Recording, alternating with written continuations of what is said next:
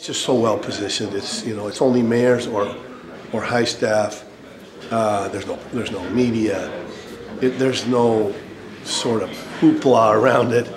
Uh, and I uh, so it, it, couldn't be any better. It's it, it's very policy driven, uh, intensely driven by policy and and some of the best thinking in these fields. Uh, and so I've never really found a better a better place to go. Uh, there's lots of other good conferences. The Conference of Mayors has some some real advantages, uh, but there's really nothing quite like this.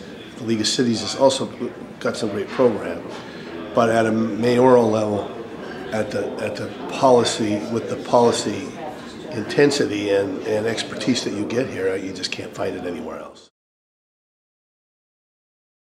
A couple of years ago, after attending the conference, it really uh, they did a great job of talking about energy efficiency block grants and how you might use that in your community and how you might work to uh, to make buildings more energy efficient uh, and employ people in that type of industry. And that the the conversations and, and panels panelists I heard here.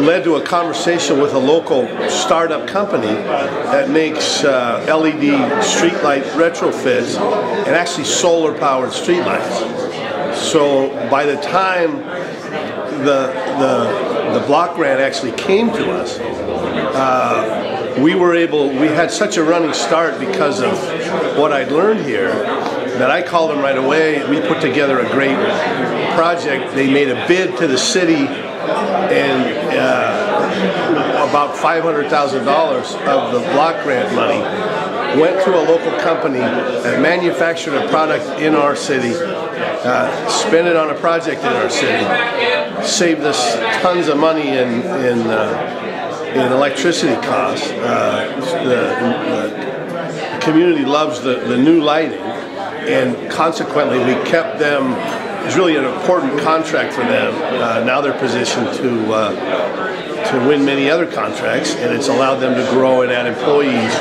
uh, because of that. So you really can't do much better than that, I don't think. Uh, and without having talked about it here first, we, we, would have never been ready in time to have taken advantage of it. Uh, and, and, and the bid timing got was pretty crunched, uh, and we made it just right.